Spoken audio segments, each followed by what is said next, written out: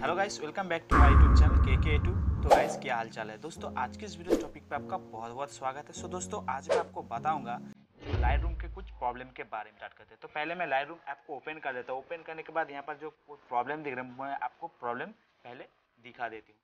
तो यहाँ पर आप देख सकते हो मैंने लाइट रूम पे आ चुका हूँ। लाइट रूम पे आने के बाद यहाँ पर आप देख सकते हो सिर्फ़ एल्बम का ऑप्शन दिख रहा है।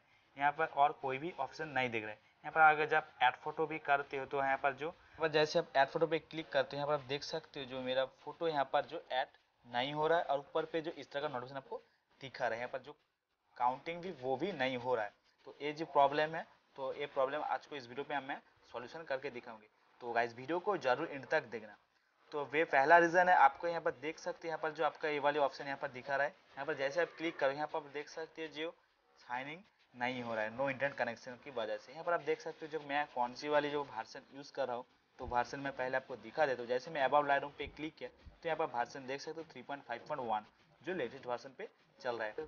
तो गाइस ये प्रॉब्लम है जो इस वर्सन पे। तो गाइस मैं गैलरी पे जाके भी दिखा देता हूँ। जैसे मैं गैलरी पे जा गैलरी पे गैलरी ओपन किया, उसके बाद यहाँ पर फ़ोटो लिया, उसके बाद यहाँ पर आपको शेयर का ऑप्शन दिख जाएगा। जैसे मैं शेयर पे क्लिक किया, फिर आप यहाँ यहाँ से जो लाइट रूम पे शेयर करते हो तो आपको एक ही प्रॉब्लम दिखाएगा। तो मैंने लाइट पे शेयर कर दिया। यहाँ पर देख रहे हैं लाइट पे फ़ोटो जो चाहे, यहाँ पर भी ऑप्शन पे भी आ गया।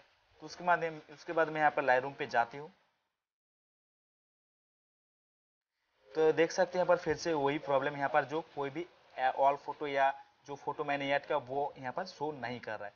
तो इसका सॉल्यूशन क्या है? तो आपको क्या करना है? आपको इस एप्लीकेशन को जो क्लोज कर देना है।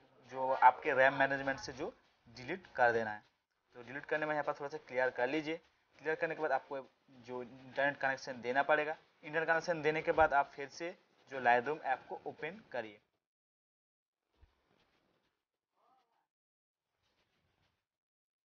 जो ऑल फ़ोटोज़ पे आ गया तो अब यहाँ पर न्यू आइटम पे भी सिलेक्ट करके, यहाँ से भी सिलेक्ट करके आप जो फ़ोटो ऐड कर सकते हो। उसके बाद आपको ऑल फ़ोटो पे जैसे क्लिक करो, यहाँ पर आप देख सकते हो जितने सारे फ़ोटो है, आपके जो, आपने एडिटिंग के लिए पहले ले रखा था, वो यहाँ पर आ जाएगा।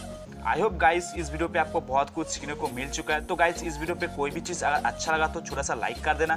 तो इसमें मुझे कुछ मोटिवेट मिल सकती है। तो गाइस उम्मीद करती इस वीडियो पे आपको बहुत ही ज़्यादा पसंद है तो चलिए दोस्तों, मिलती है दूसरी वीडियो के दूसरी टॉपिक पे। तब तक के लिए खुश रहे जय हिंद, वंदे मातरम।